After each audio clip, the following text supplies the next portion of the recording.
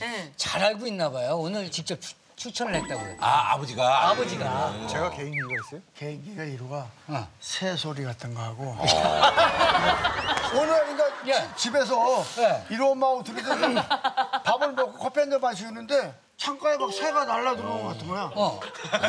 어, 아들 방에 새가 들어왔나? 너무 입체적이다. 그래고 갔는데 혼자서 하는데 새소리를 너무 잘 내는 거야. 근데 이제 사실 이제 그 부자기 때문에 이게 객관할 수 없어요. 아, 그럼요. 약간 그럴 수가 있어. 개인기를 하려고 했던 게 아니고요.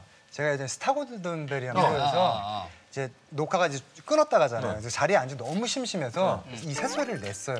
근데 갑자기 이제 마이크로 감독님인가 새 들어왔으니까 녹화 끊고 새 차라고 잘하고 아, 진짜라고요? 오 그래. 그래. 아 한번 해봐봐. 아, 이게 되게 오랜만인데 와, 진짜. 병아리네 병아리. 와, 진짜 새소리 똑같다. 아, 저, 저, 저, 아, 똑같아. 견디면 안 돼, 조금만. 어, 진짜. 가족은 저기 아버지가 해달라고 해요? 아니고 해달라고 제가 그냥. 알려드릴까요? 아, 그리고 또 마술을 준비했다면서요? 어쩌다가 가끔 가다 이렇게 한번 디너쇼 할 때 한 번씩 하는 뭐예요? 건데 예, 뭔데요? 이게, 마술이요, 진짜? 이게 이제 스- 스카프 구멍 났어. 여기 구- 아, 구멍 뚫 여기 구멍 뚫린데 잘 봐야 돼. 네.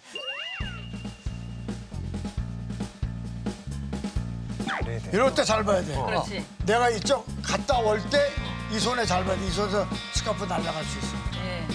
뭐 마술을 알려주는 사람이야. 우와!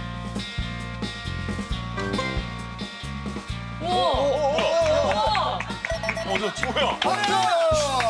뭐야? 소연이 귀에서 나온 거. 오, 야야야. 자, 이거 해야지. 어, 어쩐지 오늘 이런 결 아, 역시. 대박이다. 다 생각하고 저옷을 입고 오신 거였어. 네, 근데